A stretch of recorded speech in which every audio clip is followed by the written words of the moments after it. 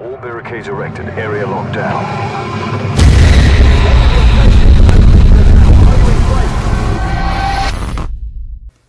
What's going on you guys? And right here we got a another episode of Moab Sunday and most likely this one will be on time. And uh, this Moab was actually unexpected because I, I wasn't actually going for a Moab. I was just playing for fun and well I always play for fun but this one I wasn't actually trying to get a Moab so it's pretty it was pretty awesome that I actually got it without without even uh, trying to, to get in the first place. But uh, lately I've been trying to get a Moab on on Terminal since it's the new map pack that came out. Well, not really map pack, just a new map that came out for Modern Warfare 3. And I thought it would be really sort of special to get a Moab on there. But I, I actually almost got one too. I needed about two or three more kills, but the game ended. And which really sucks because I was playing Domination. And uh, at first I was rushing. I was rushing the team and I actually got like 8 kills on the spot in the beginning and then I had to work my way all the way up to about like 19 or 20 kills and which really sucks because I, I was gonna get the Moab too I had an adrenaline rush I knew where the team was spawning and terminal spawns is pretty it's pretty self-explanatory you know they spawn either by uh, the big airplane where you spawn or by the what what are those things called? Metal detectors? Yeah.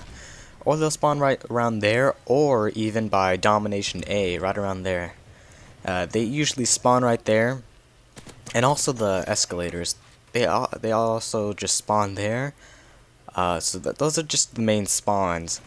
So you know it's pretty easy if you go ahead and take a route by the escalators. If you run around by by those windows in the let's see what's it called but I think it's B it's yeah I think it's B search and destroy if you hang around around there by the escalators then you can go ahead and uh and go ahead and trap the team and just spawn kill them which I almost did I almost did but the game ended which really bugged me because uh, I'm not sure if anybody's actually gotten a Moab yet on terminal I'm gonna have to YouTube that real quick and phone shut up There's my phone again, trying to be a camera whore, or commentary whore, whatever we're calling it. So yeah, it really sucks. It really does suck. It was I was trying to get it for this Sunday, but I'm gonna try to get it again. I'm gonna keep on trying because I want to be the first person to get a Moab on terminal, unless it's already been done. But I mean, I want to be one of the first. So, anyways, I want to go ahead and try to get another Moab on terminal by by next Sunday. By next Sunday, and if I do get it, you'll see on Moab Sunday, and which will be very very awesome if I do. It would be very awesome if I was like one of the first, which be that would be amazing.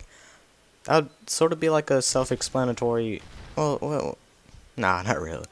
It would sort of be like a, a self reward to me being one of the first in anything in Call of Duty because there's a lot of good players and they could probably get a Moab like first game they play. And for me, eh, you know, it sort of takes a while. I can get it. I can get Moabs, but you know, it does it does take me quite a while to find, you know, the right game, the right connection, the right gun to use in a certain map and you know, the, using a certain gun on a map doesn't always work out. Like using the MP7, what's a good map for uh Arkaden? Using an MP7 on that, I'm really good with MP7 on arcade, and, I I got most of my Moabs on arcade and with the MP7, and that map's really really is good for the MP7. But you know, I almost I I can't tell you how many times I almost got a Moab on arcade and with the MP7, and I failed.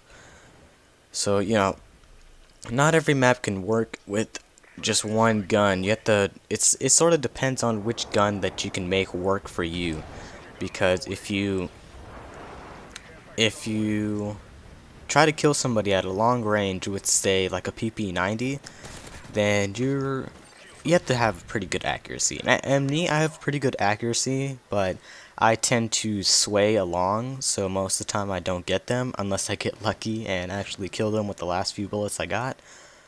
But so yeah it sort of depends on what kind of player you are and how you play and how basically how you you know your logic at Call of Duty. And right here, I keep hearing footsteps because uh, I have Turtle Beaches, and I hear somebody camping right there. And see right there, people are chucking grenades down there. And I kept hearing, and I knew I was on a streak too, so I wanted to wait there and be careful. Right here, I just sort of uh, made a big gulp and sucked it up and just ran for it. And luckily, I didn't get killed. So I hear people just shooting rockets in this game. I don't know why, but people were using a, a, a crap load of rockets and trying to kill each other.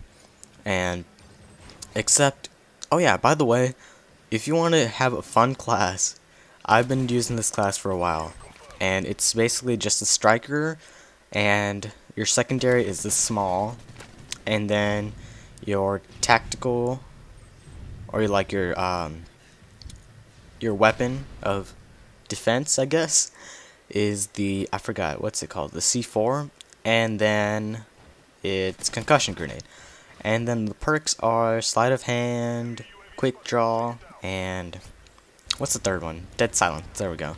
So if you have if you want a fun class to use uh, to sort of troll people, because I I was on terminal and I was playing um, with the striker, and I got I went 57 and and 10, which is pretty amazing considering the striker isn't the best thing at long range, but it's freaking it, it's a beast at in short distance and plus with damage it's amazing.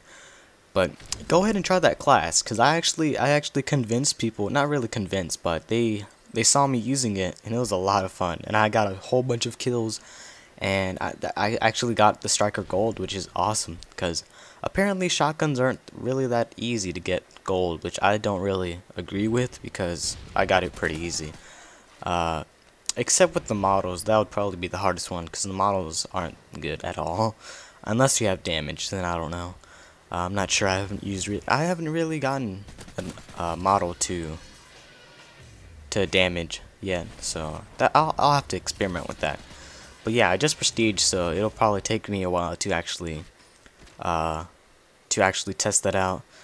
But yeah, so the next time you see this, I don't know what prestige I'm gonna get. I'm I'm right now I'm 16th, which is which some of you guys are probably gonna be like, what? No, you're not, uh, because some of you guys watch my Road to Commander, and on that I'm actually what like 9th or 10th prestige, which is crazy. I prestige like six times in the last I don't know how long my like the end of my Road to Commander was like two months probably yeah, so and also had a big like break for a month, so I, I guess just one month that I've stopped. So yeah, which is pretty insane. Right here I got the Moab and oh, burp. I don't know why, but I keep burping during my commentaries. I don't I don't I don't really get that.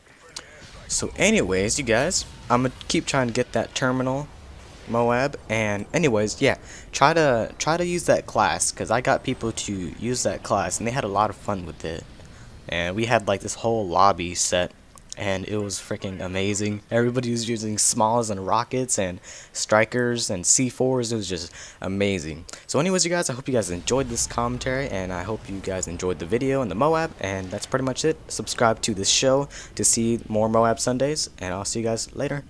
Bye.